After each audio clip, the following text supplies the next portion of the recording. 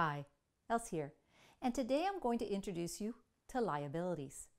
Assets on the balance sheet have been the focus of all of our previous videos.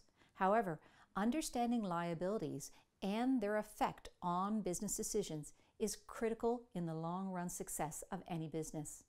This is because assets are often funded through the use of debt, also called liabilities. Remember, if a business provides credit terms to their customers, their cash inflow from the sales is delayed.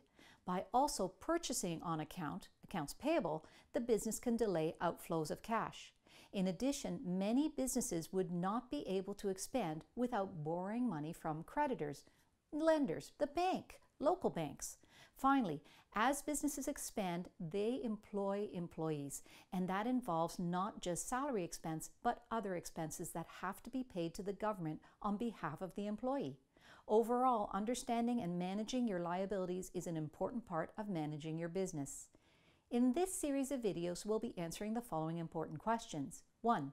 What are the most frequently used liability accounts and how are they used by a business? 2. How are loans and their related interest costs recorded in the accounting records? 3. What about recording income taxes due in the future? 4. If we hire employees, what transactions must we record in relationship to their pay? And finally, 5. How are liabilities recorded on the financial statements? All right, we got a lot to do. Let's get started.